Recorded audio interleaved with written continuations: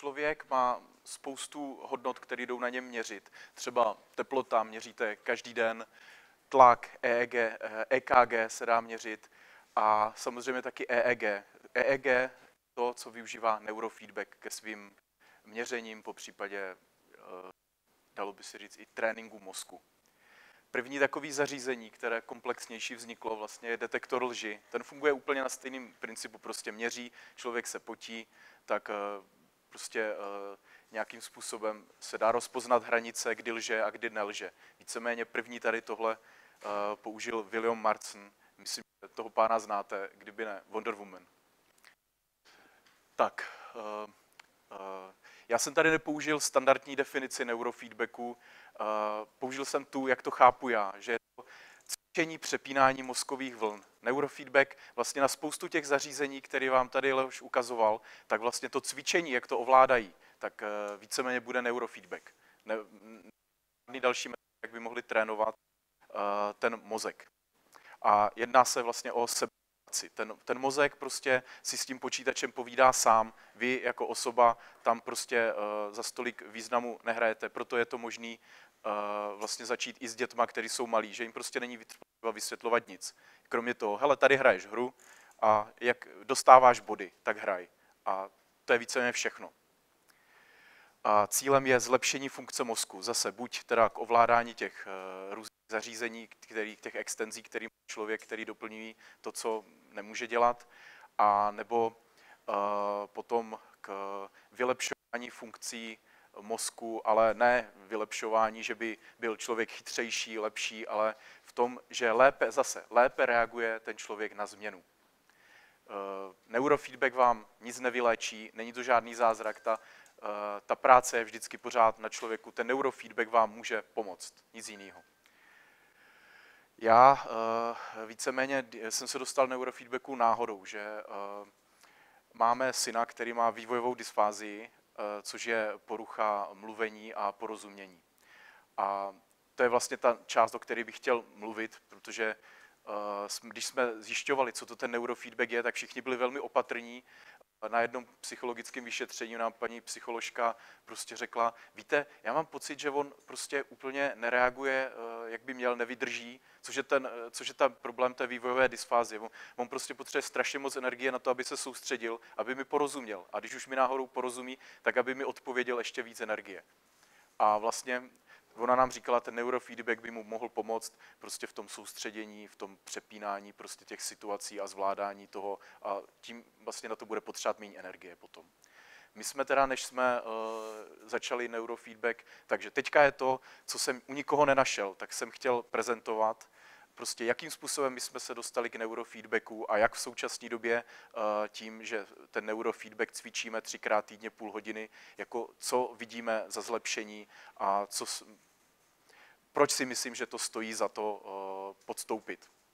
Je to spousta času, třikrát týdně, celkem my máme naplánovaných 60 náštěv v Tady jsou potom knihy, kdybyste se chtěli podívat, běžně se uvádí, že tak jako je potřeba těch 40 půl hodin k tomu, aby ten mozek byl schopen si vycvičit nějakým způsobem tu seberegulaci a to přepínání.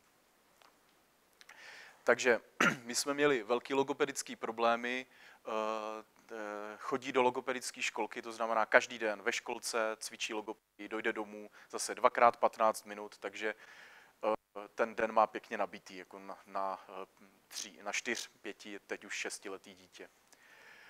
Eh, čím jsme vším prošli, než jsme šli eh, na neurofeedback? Začali jsme, když byl malý kontrola sluchu, na neurologii jsme byli víckrát a byli jsme i na psychologických vyšetřeních a bylo nám doporučený i psychiatrický. My jsme tady tohle všechno vlastně byli nakonec prošli, protože třeba u toho neurofeedbacku eh, já bych takhle malý dítě prostě eh, na ten neurofeedback eh, neposlal bez toho, aniž bych věděl, že tam nejsou žádný nějaký větší problémy, které jsou schopni de- detekovat psychologové, případně psychiatři. Což byl náš případ. Žádný, nikdo nic zvláštního nepotvrdil. Tím, jak dítě nemluví, tak vlastně ono nekomunikuje, takže je těžký říct, co se asi děje. Ale potom, kdyby byly nějaký větší problémy a šli jsme na neurofeedback a to by třeba začalo znásobovat nějaký problémy tím, že to dítě nekomunikuje, tak jako ne, nedoporučuji to, nikdy bych to neudělal takhle, bez, bez té jistoty uh, komunikace předchozích vyšetření. Takže naše rozhodnutí, už jsem říkal, chodíme třikrát týdně po 30 minutách, celkem 60 náštěv. Je to, jak kdybyste dítěti dali tři kroužky týdně. Je to prostě záhul jak pro rodiče, tak pro to dítě. No. Jestli je úspěch, jak jsem říkal na začátku, žádný zázraky to neudělá. Alternativa k tomu je medikace, ale to znamená, že to dítě musí každý den jíst nějakou pilulku, která má vedlejší účinky, ale prostě ten chemický disbalans, který to mozku je, vlastně napraví. Ten neurofeedback na to jde tak, eh, že vlastně cvičí ty vzruchy. To, to dítě vlastně sedí v křesle a má tam počítačovou hru a mu řeknou, ten robot musí držet hlavu nahoře. Ale to je jenom vlastně zástupný takový prostě mask, maskování toho neurofeedbacku, aby upoutal pozornost toho dítěte. A vlastně na pozadí ten mozek si povídá s tím počítačem a eh, ten počítač po něm chce, aby nastavoval ty vlny tak, eh, jak eh, vlastně operátor nastavil to zařízení a ve chvíli, kdy tam ta vlna, ty vlny proběhnou, tak to vlastně dostane to dítě bod, takže je odměněný a na základě toho vlastně potom se může zlepšovat tak, jak je nastaveno v tom hardwareu a v té komunikaci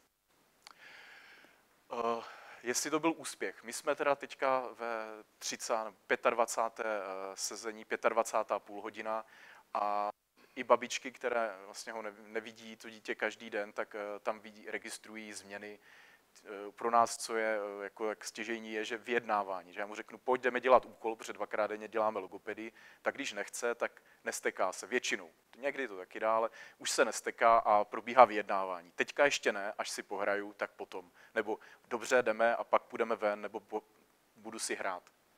Eh, u těch činností zůstává výrazně déle a co teda jsem asi nevíc ocenil, že se smě, že už najednou není eh, pro něho eh, ta komunikace s lidma takový stres. Třeba pro mě bylo zvláštní, když jsme, eh, dost důležitá informace, když jsme byli poprvé u nějakým to vstupním vyšetření u toho neurofeedbacku a domlouvali jsme si ty hodiny, tak paní mi říkala, že prostě on, když zavře oči, tak jeho mozkové vlny mají stejný pattern jako dítě, které se bojí. Takže my už jsme pochopili, proč on usíná v 10 a ne jak dcera v 8, 8 10, když jdeme v 8 spát, dcera 8, 10 spí a on, mu to trvá do 10, než prostě usne. Takže to byly takové i cenné informace, které byly okay.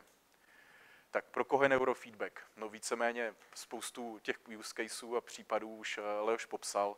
Takže uh, za nás, pro děti s problémem a soustředění, oni to, uh, já tady nepoužívám ty zkratky, které připomínají přepravní společnosti, ale je to pro děti, které prostě mají problém soustředění nebo i do...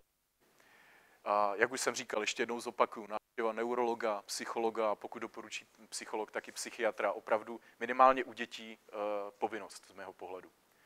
A pak, když jsem nad tím začal přemýšlet, vlastně to přepínání, uh, že by mohlo mít i uh, pro dospělé třeba, já nevím, jak se vám stává, že dokážete vypnout, když jdete z práce, když je člověk mladý, tak to nevadí, že nevypnu, že jo, však něco přijdu, napíšu a ráno můžu pokračovat. Čím je člověk starší, tak ta regenerace potřebuje víc, mně přijde, a že ten neurofeedback by mm, mm, z mýho pohledu mohl pomáhat v tom, že aby se ti lidi naučili vypínat. Prostě, že po práci vypnu a regeneruju vlastně tím způsobem. A potom uh, jedno z těch uh, dalších, který uh, Leoš teda tam taky popisoval, tak to ovládání vozíků, že vlastně ty mozkový, ten mozek si to sám vydává nějaký vlny, ale to, to hardwareové zařízení musí porozumět a aby byli spolu líp kompatibilní, tak ten neurofeedback jim může v tomhle pomoct. No a když si nehodláte do sebe nastřílet elektrody, tak ten neurofeedback by vám mohl pomoct ten mozek zlepšovat i bez toho. My jsme se teda vydali, eh, ty domácí zařízení jsme žádný nakonec nekoupili z toho důvodu, eh, když bych dal analogii, když děláte koncert, tak eh, si taky nekoupíte reprobedny a Hlavně tam máte profesionálního zvukaře, který potom dělá ten rozdíl, jestli ten koncert je úspěšný nebo není. A to vnímám prostě toho člověka, který vám poskytne tu službu, toho eh, neurofeedbacku, že to je ten rozdílový zvukař prostě. Tam se prolíná strašně moc věcí, psychologie, speciální pedagogika, neurolog musí, být, musí znát trochu elektroniku nebo aspoň se jí nebát, musí být i trochu IT expert, protože ten software je šitý vždycky na míru tomu jednomu zařízení. To je vše. mám tady jsou zdroje, ze kterých jsem čerpal. Pokud byste se do těch knih chtěli podívat, mám je tady na stole. Díval jsem se, že docela dost lidí bylo pro diskuzní kroužek na toto téma. Myslím si, že teď už jsme na vaše dotazy dva, takže je to větší šance, že bychom odpověděli. Tak když tak za náma někdy dojděte a domluvíme se, kdyby jsme se potkali. To je vše.